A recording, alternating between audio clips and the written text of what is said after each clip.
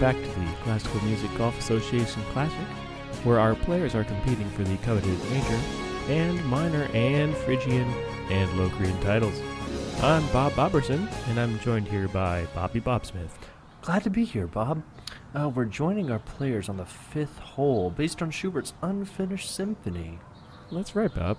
This is a particularly complex hole that starts normally after a strong dogleg right, but ends abruptly after about 680 measures. Good observation, Bob.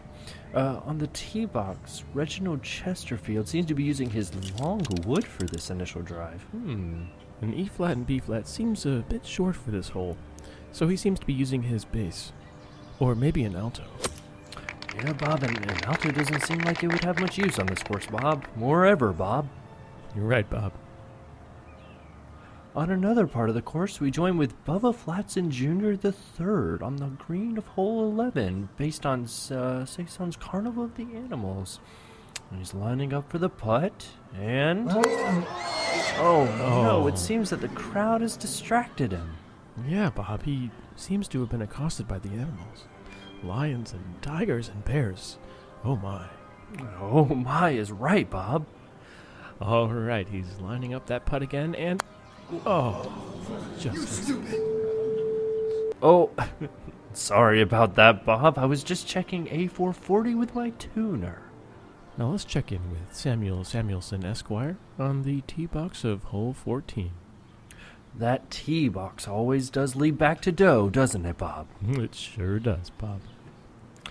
And there's his backswing, and oh no, he seems to have terribly overshot that one, Bob. Right, Bob. He seems to have missed by more than a fifth on that attempt. His accuracy seems to be a little iffy today, Bob. The sound only went about five feet in front of him. That's not very good for audience projection, Bob. Just an observation. Okay, here here he goes again. Yep, my tuner still works, Bob. All right, Bob. Let's check in with Bernard Lernstein teeing off right now on hole number six. He seems to be aimed in a strange direction, Bob. Oh well, Bob, that was a pretty severe miss. Oh, it was, Bob. He seemed to want to hit in a compound meter, but hit in simple meter instead, Bob. Right, you are, Bob. Poor choice indeed. And on we go to hole 18, based on Stravinsky's famous Rite of Spring.